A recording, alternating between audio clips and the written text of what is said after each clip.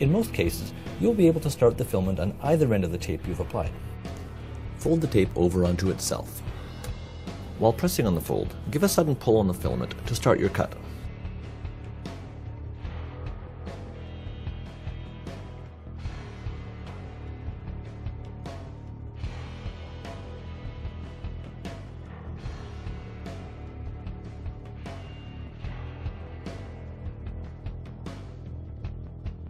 Fold the tape over onto itself up to the edge of the vinyl. While pressing on the fold, give a sudden pull on the filament to start your cut.